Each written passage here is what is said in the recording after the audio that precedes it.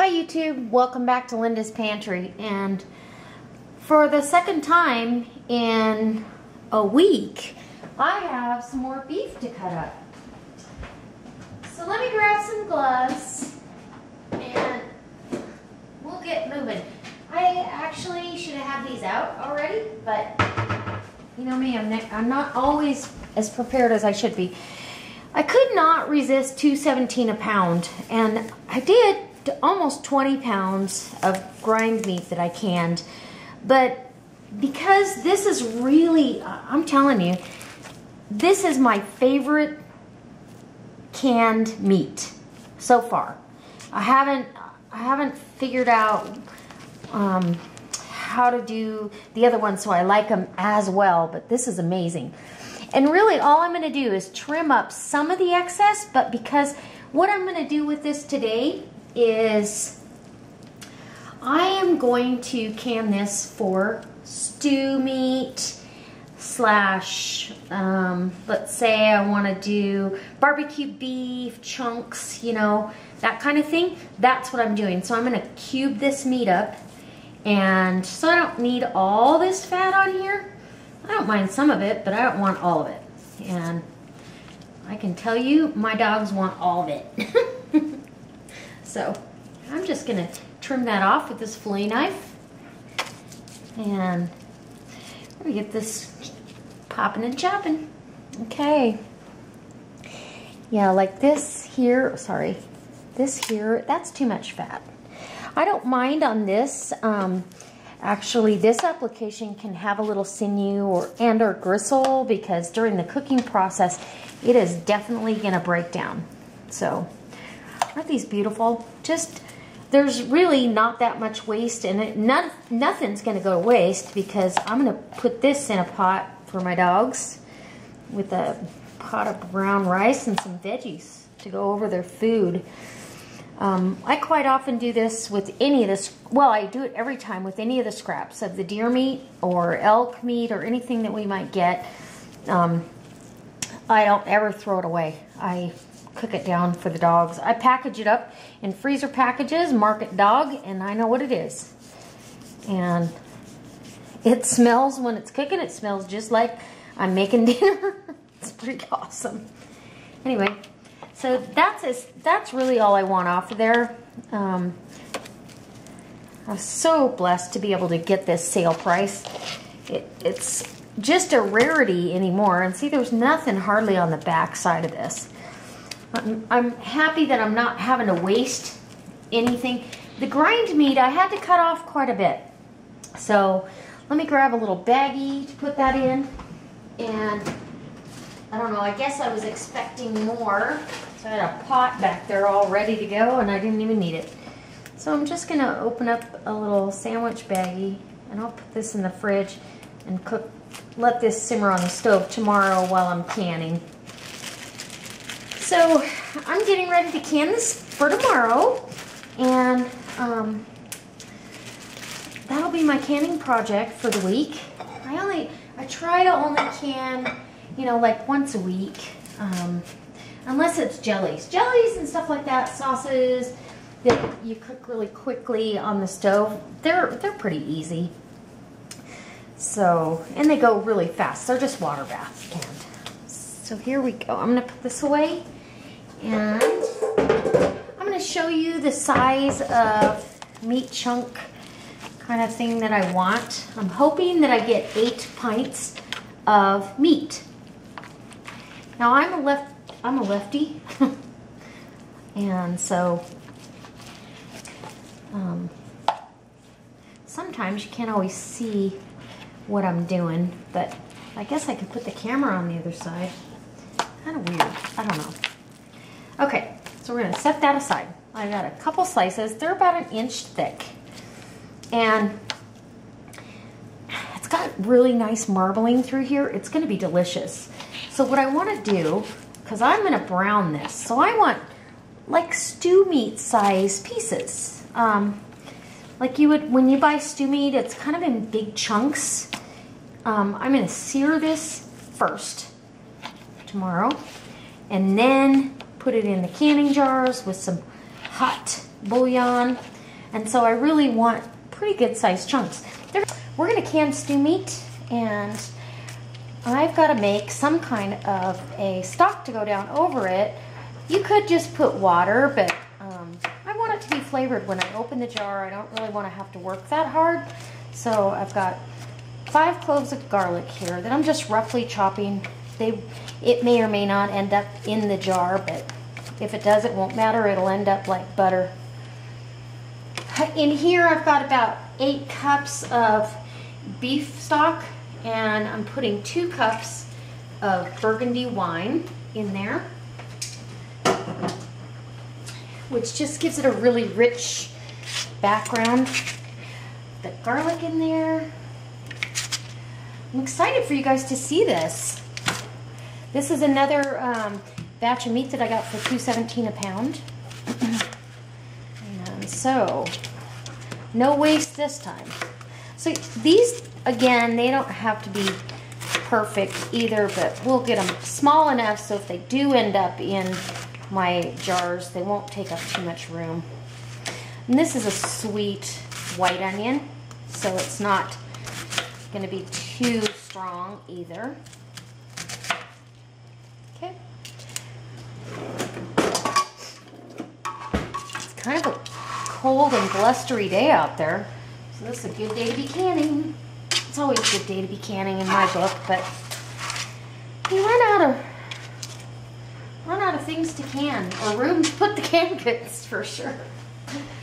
All right, so now I want to add about, I've got about a tablespoon and a half of black crack. I'm going to put a tablespoon down.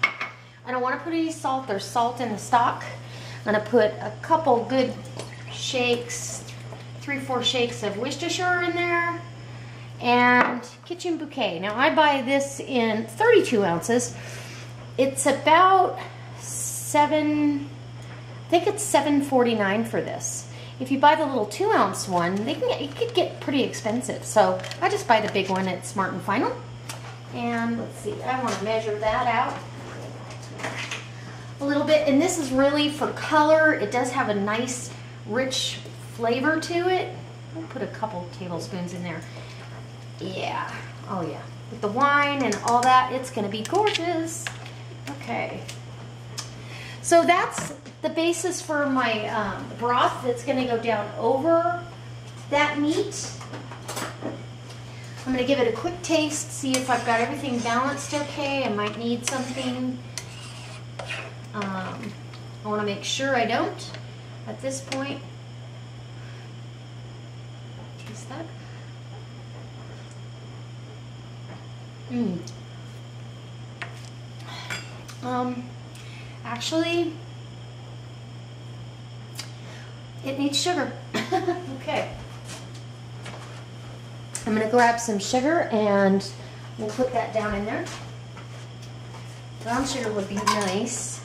Might put a little molasses in there. It doesn't need much. You just, sugar, you know, it balances out the savory. And grab my molasses real quick and put that in and then we are ready to get on the meat end of it. And about a tablespoon of molasses.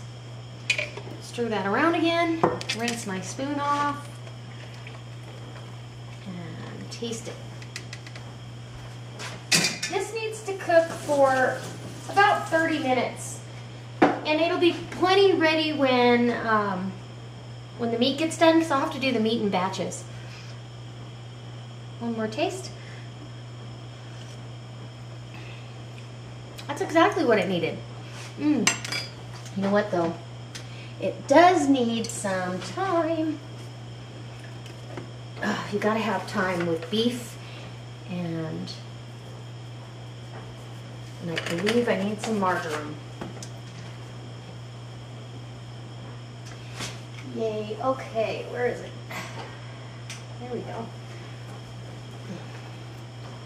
Just gives it a rich, earthy flavor. So uh, what I'm gonna do right now is get this meat browning. I've got some olive oil down in this electric skillet. And now I wanna get a glove on, because because I don't want to touch it. And I don't want to be in the raw meat after. So that oil gets nice and hot. You know it's hot when it starts kind of rippling when you move it around. So we're we're hot, and I'm gonna I've cubed up all this meat pretty uniform, like you would buy stew meat, and I'm gonna sear this. I just feel like you get a better texture and better flavor if you get a little. Every bit of flavor you can get in that canning jar is critical to the end result. So I take the extra time in the beginning to make it work for the end result. if that makes sense. And now as we actually get this meat brown, I'm going to get some jars out. I think I can just go right from, um, when I get it browned on both sides, I believe I can just pop it right in the jars and go over and get it into uh, the canner. So I'm, I'm going to salt and pepper this just a little bit.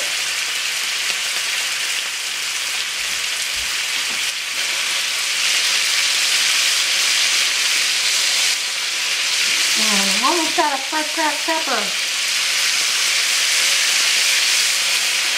I'll be hand cranking.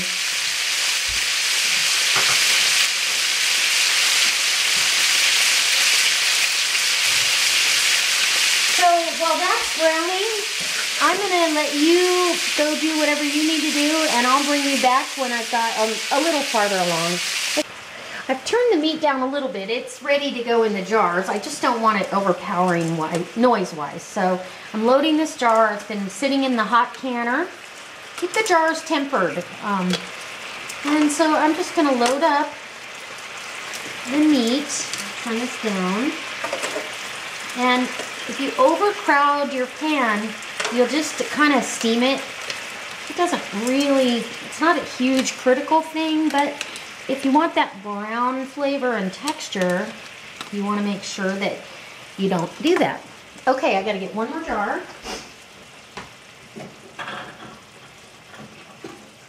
Hot. Okay, hot. And we'll put that one right there. This is perfect to fill with the um, stock. And you, you'll want to make sure that you take all the air bubbles out. Nothing trapped inside there. Make sure you can see that well. No, see? I'm too far away or too close. So we're going to, oops, need my, my spout. Put that beautiful stock in there. And you want it within an inch of headspace. Um, if you get it too full, you take a chance of it not sealing properly. Isn't that beautiful? Oh, it's going to be delicious. Okay, so I'm going to wipe the rim down hot and bring this over, put a, a lid and a ring on, and set it back into the hot canner. I just wanted to chat with you a second. So while I'm doing this jar, I am debubbling, which I did with the other jars. You'd, you'd be surprised where bubbles hide in these. And so you want to make sure you wipe the rim and anything that might get caught up in the mix here. Um, these aren't quite hot enough, so I'm going to dip it right in here. That's what I had to do with the other two. You're just priming the seal. Basically, you're getting that gasket soft and one just finger tight and then down into the canner to rest. What I wanted to talk to you about is I just wanted to make sure that it's really clear the way I do things may not be the way the ball canning book says necessarily, but it's what's worked for me for years. It's the way I learned.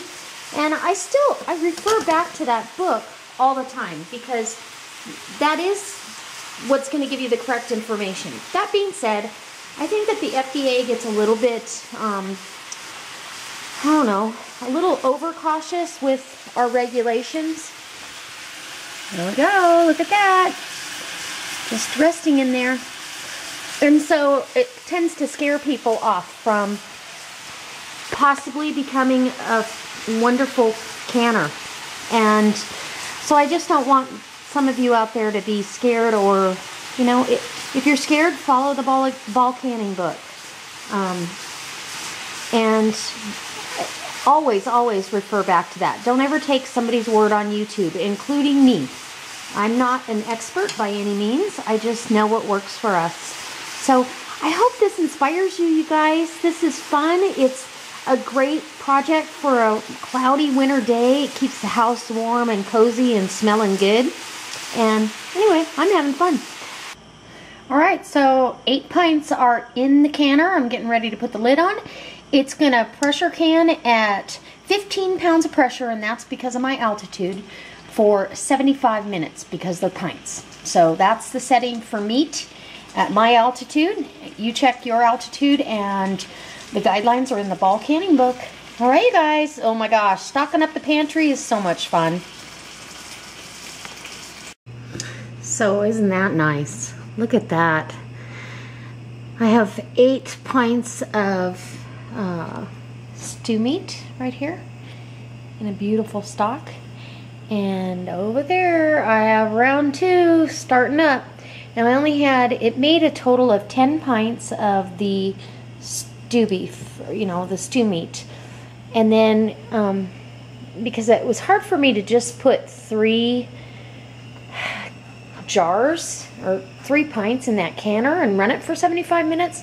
So I actually, we're going to have cod tonight and, you know, the big giant packages from Costco.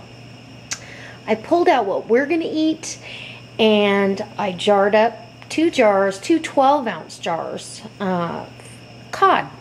And you can use it like tuna fish, you can use it in soups or stews, chowder kind of thing, whatever you want, just like any other canned fish. So I decided that's what I was going to do, and we'll see how that comes out. And, ah, okay, it was a great day. So 10 pints of stew beef, stew meat, for all I got to do is add carrots, potatoes, some mushrooms. That broth that's in there will make a beautiful gravy. So I hope this inspires you. I hope that you either try to learn how to can or put back food some other way. Um, so, just in case something happens, whether it be natural, man made, unforeseen, um, weather, doesn't matter, or you have an unexpected guest, you don't know how you're going to add them to your, uh, to your grocery bill. So, anything can happen, and I just believe in being prepared and being ready, and this is very rewarding. I hope you try it. I hope you like this. I hope it's inspiring for you. And if you guys want to see anything else on canning, let me know. Ooh, do you hear that pop? That's pretty exciting. Um, let me know what you'd like to see, and I'll try to pull it out of my hat if I can. If at all possible, all your requests will be at least visualized in my mind and try to get that to come true for you. Anyway, I can't wait to see you next time. Oh my goodness, we've got good ones coming up. Okay, you guys, God bless.